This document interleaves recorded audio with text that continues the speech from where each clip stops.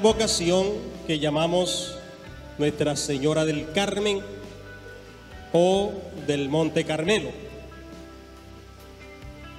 La palabra Carmelo, o nombre Carmelo, o Carmen, en la Sagrada Escritura significa el jardín que tiene una tierra fértil. Por eso los nombres de Carmelo y Carmen son tierra fértil.